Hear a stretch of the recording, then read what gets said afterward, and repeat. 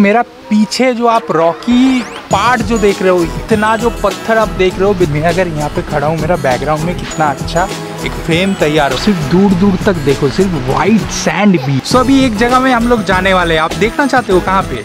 आओ आओ, जल्दी आओ।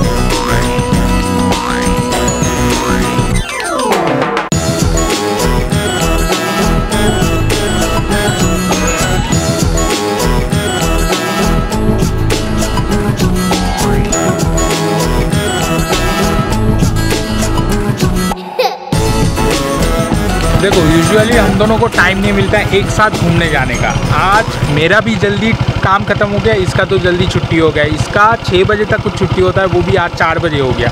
सो आज टाइम मिल गया, मैं बोला, चलो, घूमने के लिए निकलते हैं। और फटाफट निकल गया करके घर में भी शुरू नहीं कर पाया।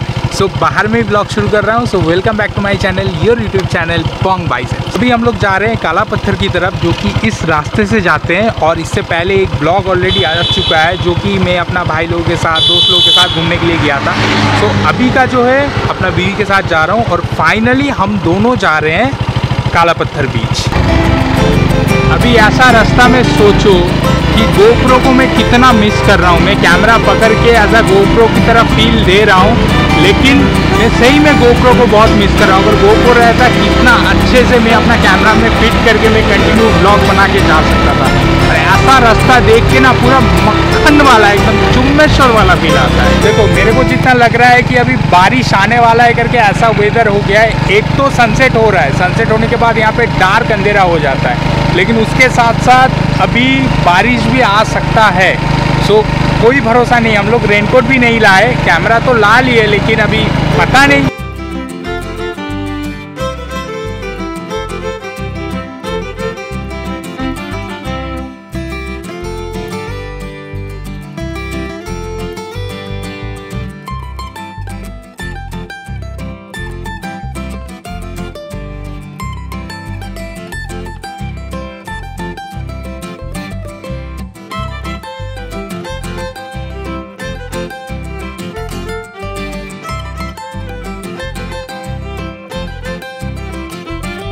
तो अभी हम दोनों पहुँच गए काला पत्थर बीच और काला पत्थर बीच पे अभी हम लोग जहाँ पे वॉक कर रहे हैं, ये आगे की तरफ़ बेसिकली ये रास्ता जाता है सीक्रेट बीच की तरफ़। और पीछे जो है गेस्ट लोगों का जगह है। एक्चुअली यहाँ पे भी गेस्ट लोगों को एक्सेस मिलता है, लेकिन यहाँ पे अगर रास्ता आप जानते हो, पहचानते हो, तभी आप मेरे को भी एग्जैक्ट सीक्रेट बीच मालूम नहीं, लेकिन जितना दूर तक ये बीच हम लोगों को बाई वॉक करके लेके जा सकता है हम लोग, उतना दूर तक वॉक करते हुए जाएँगे एंड एक्सप्लोर करेंगे कि ये रास्ता कहाँ तक पहुँचता है। काला पत्थर को बेसिकली बोला जाता है सनराइज बीच एंड उसके साथ साथ फोटोजेनिक बीच इसीलिए कहते हैं क्योंकि यहाँ पे फोटोग्राफी करने के लिए जगह ही जगह है। यहाँ पे कंटेंट ढूँढने को आपको ज़्यादा टाइम नहीं लगेगा।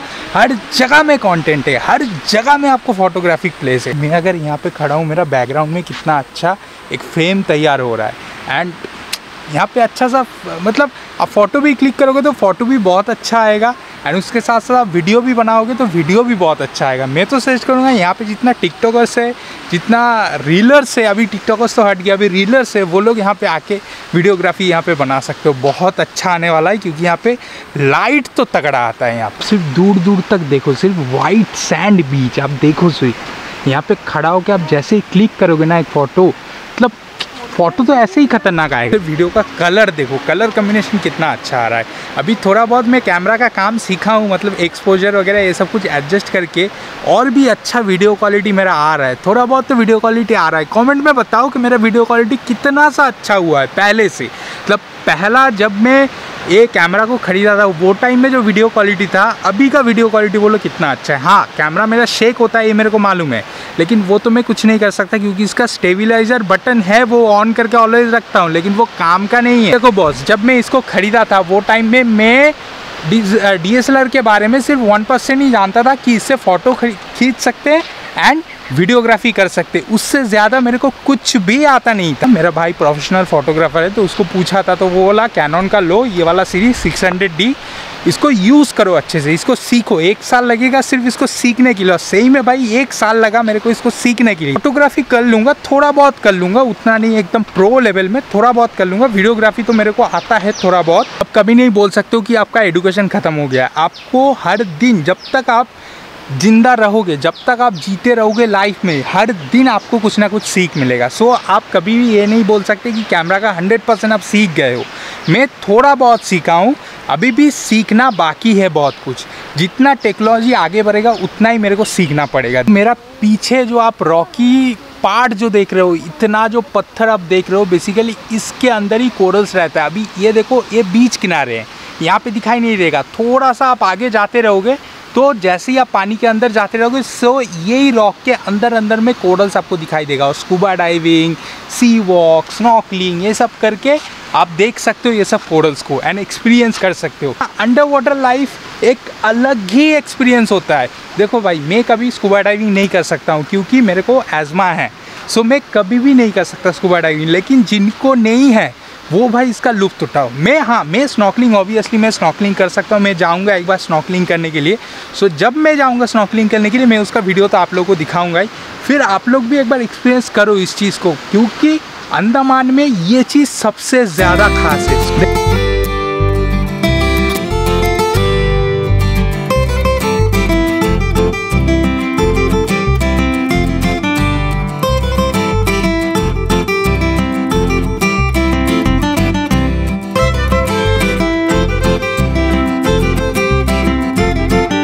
देखो भाई, मैं तो उतना प्रोफेशनल फोटोग्राफर नहीं हूँ, लेकिन ये पेड़ को देख के मेरे को इतना लग रहा है कि ये प्रोफेशनल फोटोग्राफर आएगा तो इसको कितना अच्छा वो फ्रेम बना सकता है। सो अभी एक जगह में हम लोग जाने वाले हैं। आप देखना चाहते हो कहाँ पे?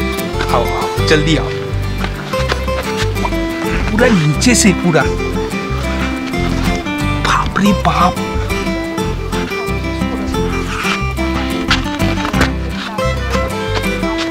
देखा? कंटेंट के लिए कितना मेहनत करना पड़ता है। देखो, काला पत्थर अगर आओगे तो आपको कितना प्रॉफिट हो सकता है। काला पत्थर का ये जो साइड में अभी हम दोनों जो वॉक करके जा रहे हैं, यहाँ पे अगर वॉक करोगे डेली आके सो आपका जिम जाने का खर्चा, आपका घर में ट्रेडमिल वगैरह ये सब लेने का खर्चा, ये सब खर्चा आपका बच जाएगा।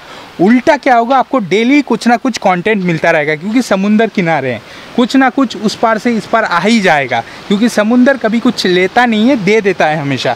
तो कुछ ना कुछ कंटेंट आपको हमेशा मिलता रहेगा यहाँ पे। एंड उसके साथ साथ आप वीडियो भी अच्छा बना पाओगे मतलब कितना कुछ आपको प्रॉफिट हो रहा है, देखो।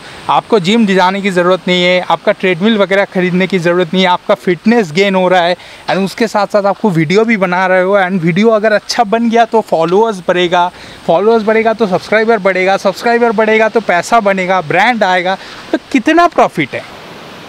सो so, ये वाला फ्रेम कितना अच्छा लग रहा है देखो मैं फ्रेम एज अ फ्रेम मैंने यूज़ किया एक सिर्फ़ एक पेड़ एक गिरा हुआ पेड़। यहाँ पे मैं कैमरा को रख दिया और यहाँ से मैं वीडियो बना रहा हूँ। और मेरा माइक भी अच्छा खासा कैच कर रहा है साउंड को एंड मैंने यूज़ किया एज अ फ्रेम सिर्फ़ एक पुराना पेड़ जो गिर गया था। अभी ये शायद से सुनामी के टाइम भी गिर सकता है, या तो नॉर्मली किसी और टाइम भी ये गिर सकता है। लेकिन मेरे को एग्जैक्ट पता नहीं, लेकिन एज अ फ्रेम आपको कितना कुछ यहाँ पे मिल सकता है। इसमें इतना रॉकी है, इतना पत्थर है, आप कभी भी यहाँ पे स्विम नहीं कर सकते। आप अगर स्विम करने की कोशिश भी करोगे, आपका छिल जाएगा मतलब स्किन कट जाएगा। आपका बहुत ही रिस्क है यहाँ पे मतलब स्विमिंग करना। और इसका पूरा उल्टा है मतलब ऐसा कुछ पत्थर नहीं है, पूरा बालू है, ऐसा बालू है, सिर्फ़ ओनली सैंड राधानगर बीच में। इसीलिए उसको कहा जाता है स्विमिंग बीच देखो, समुंदर में क्या दिखाई दिया? बहुत दिनों के बाद एक कॉम्पैक्ट डिस्क दिखाई दिया, जो कि अभी का दिन में मतलब हम लोग भूल ही गए ये सब। नेटफ्लिक्स हॉटस्टार अमेजोन प्राइम ये सब कुछ आ गया। तो ये कॉम्पैक्ट डिस्क का भी एक ज़माना था, जब हम लोग सीडी मतलब वो सीडी ड्राइव या तो वीसीडी ड्राइव ऐसा कुछ बोलते थे, जिसमें हम लोग मतलब हफ़्ते में एक दिन उसमें सीडी वगैरह, भाड़े में मिलता था ये सब सीडी वगैरह, वो सब लेके आके मूवी देखते थे, गाना सुनते थे। 2007 सेवन सेवन तक जैसा मेरे पास कुछ कंप्यूटर वगैरह आया था तो वो टाइम में मैं वाई सी टी ऐसा कॉम्पैक्ट डिस्क में मैं ला के खेलता था वो सीडी अंदर डाल के हम लोग को गेम खेलना पड़ता था। तो ये सब मेमोरीज और ये मेरे को कहाँ पे मिला। यहाँ जाके देखो यहाँ पे पड़ा है। पानी के अंदर क्या है? क्रैप का बच्चा। छोटा सा क्रैप छुपा हुआ है देखो। वो भी ज़िंदा। तो अंधेरा होना शुरू हो गया है। अभी सेफ़ टू होम जाना ही सबसे अच्छा रहेगा मतलब घर की सेफ़ टू होम बोल रहा हूँ। क्या इंग्लिश बोल रहा हूँ? इंग्लिश का माँ बहन कर रहा हूँ। सो so, घर की तरफ़ जाना ही सेफ़ रहेगा। सनसेट होने के बाद अंडमान में अंडमान में कोई भी जगह में आप जाओ डार्क अंधेरा हो जाता है। क्योंकि यहाँ पे जब सनसेट हो जाता है उसके बाद ही आपको मालूम पड़ेगा। जैसे मेनलैंड में क्या होता है कि सनसेट होने के बाद भी एटलीस्ट आधा घंटा अच्छा खासा लाइट रहता है। लेकिन यहाँ पे सनसेट होने के बाद विद इन फिफ्टीन मिनट्स यहाँ पे अंधेरा छा जाता है और वो भी अच्छा खासा अंधेरा आ जाता है। तो सनसेट हो गया है। सो अभी हम लोग को यहाँ पे अच्छे से सेफली हम लोग को निकल जाना ही सही रहेगा एटलीस्ट पार्किंग तक। फिर उसके बाद तो बाइक लेके घर की तरफ़ हम लोग पहुँच ही जाएँगे।